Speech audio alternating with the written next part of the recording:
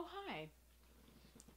My name is Diane Flacks, and I am very grateful to TO Live for inviting me to do a little piece for you from my living room to yours.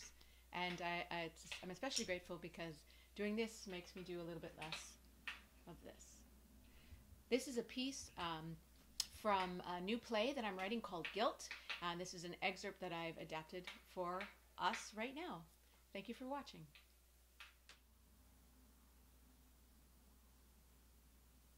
Hello. Welcome to Yoga with Sasha in the pandemic on Zoom.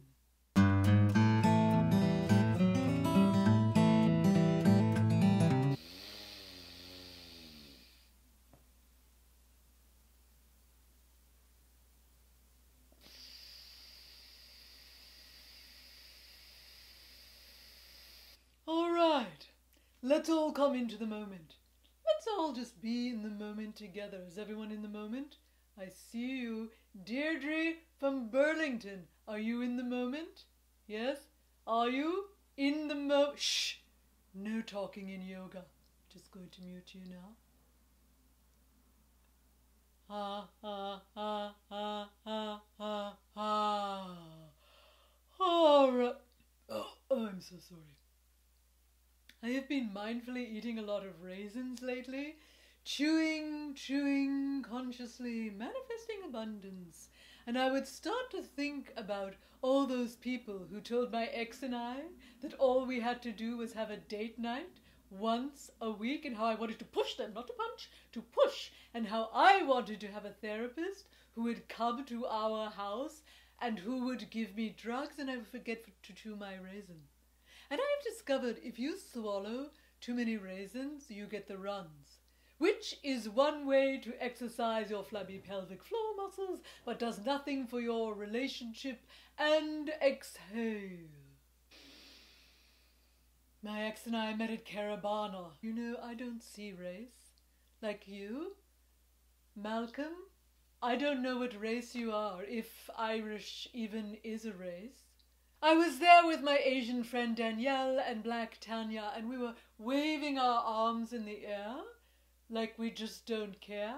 And all of a sudden, I noticed this gentleman circling us, a white man, circling a police officer, circling Black Tanya, and somewhere in the takedown, we kissed. and the rest is tragedy.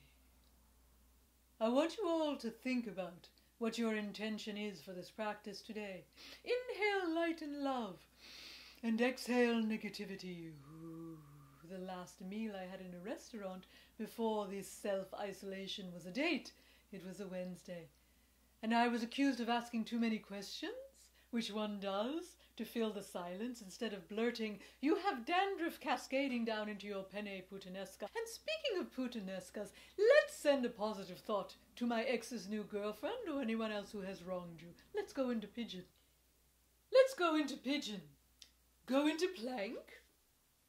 Very good.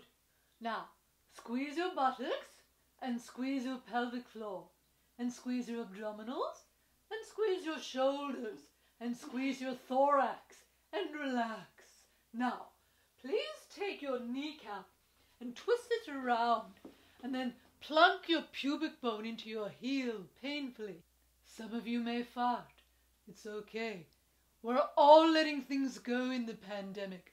I've let go reading books or talking to my parents, but I'm not letting go of chocolate almonds. Ah, ah, ah. Oh, oh so sorry. Here we are. I'll just come around and explain what we're doing next. Where was I? Oh, yes, my ex's new girlfriend. Victoria is her name.